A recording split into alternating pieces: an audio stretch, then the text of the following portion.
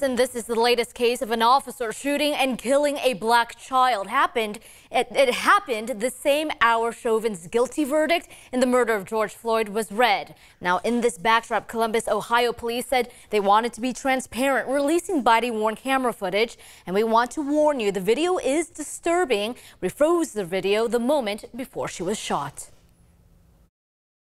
What's going on? Walking up towards a fight in progress, a Columbus police officer fired his gun within five seconds. 16 year old Ma'Khia Bryant died from the gunfire, according to foster care officials in Ohio. Her mother tells ABC 10's sister station WBNS the honor roll student was the one who called 911 when the fight broke out. Ma'Khia had a motherly nature about her. She promoted peace. In the slowed down body worn camera clip, Bryant appears to have a knife in her hand, attempting to stab the person in pink. The officer took action to protect another young girl in our community.